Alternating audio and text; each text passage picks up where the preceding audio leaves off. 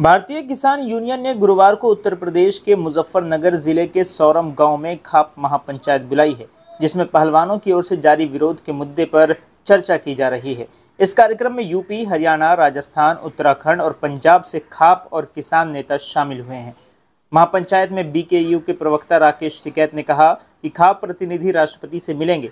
शांतिपूर्ण तरीके से आंदोलन करते हुए बच्चों को उठाया गया है। आरोप लगाए जा रहे हैं कि ये बच्चे झूठ बोल रहे हैं। फैसला यहाँ का सुरक्षित है, लेकिन खाप प्रतिनिधि राष्ट्रपति से मिलेंगे। इस दौरान राकेश टिकैत ने बीजेपी पर निशाना भी साधा। उन्होंने कहा कि सरकार की चाल है कि यूपी में हिंदू मुस्लिम किया। बिहार में लालू परिवार को तोड़ा। हरियाणा में चौटाला परिवार तोड़ा। गुजरात में यही किया। उन्होंने कहा कि पहलवान किसी जाति के नहीं है, इनकी जाति तिरंगा है। हम भी विदेश में अपनी पार्टी का नहीं, देश का झंडा लेकर जाते हैं। अगर न्याय नहीं मिलता तो पूरे देश में लड़ेंगे ये लड़ाई। गौरतलब है कि पहलवानों की ओर से भारतीय कुश्ती संघ के अध्यक्ष और यूपी के गोंडा से बीजेपी सांसद ब्रिजभूषण शरण सिंह पर यौन शोषण का आरोप लगाया गया है। पहलवान ब्रिजभूषण शरण सिंह की गिरफ्तारी की मांग कर रहे हैं। जो भी लोगों ने अपने मंच से स्पीच दी, वो उसी चौधरी की विचारधारा है।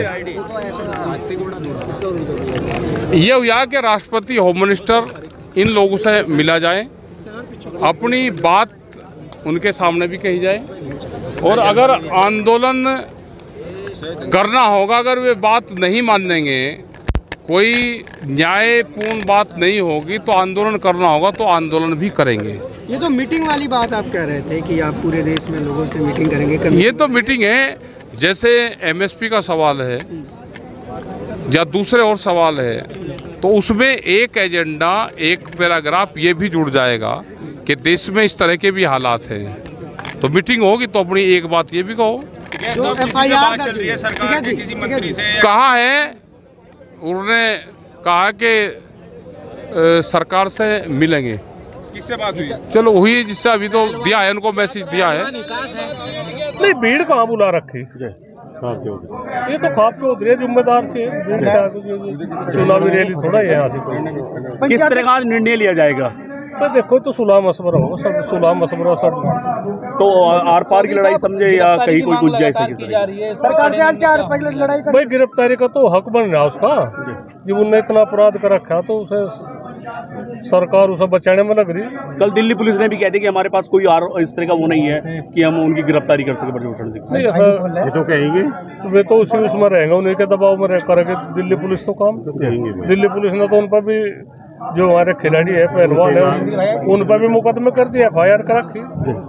कल मेडल सारे आपके पास है तो क्या निर्णय समझा जाए जितने मेडल क्योंकि नहीं हमने तो एक जो आपात स्थिति थी परसों शाम की तो उसमें किस तरह से पहलवान वासी में चले गए गंगा में मेडल विसर्जित कर रहे थे तो हमें तो एकदम पता लगा हम गद्दे से वहाँ से बहुत जल्दी में वहाँ गए मतलब बहुत गलत निर्णय हो जाएगा तो हमने भी खैर मनाए जो साहब इन्होंने इन्होंने जोड़ी बनाई कि भाई हमारे इसमें जोड़ी में मेडल गिर दो तो उन्होंने हमारी पहलवानों ने बात मान ली पाँच दिन का समय उन्होंने दिया। और पाँच दिन बाद कुछ भी हो सके पाँच दिन का ठीक है सब कोई किसी बड़े बंगाल हेल्पिंग हैंड ट्रस्ट एक सामाजिक संस्था है और इसके फाउंडर शेख जुल्फिकार अली हमेशा लोगों के भलाई के लिए जमीनी स्तर से जुड़े हुए काम करते हैं।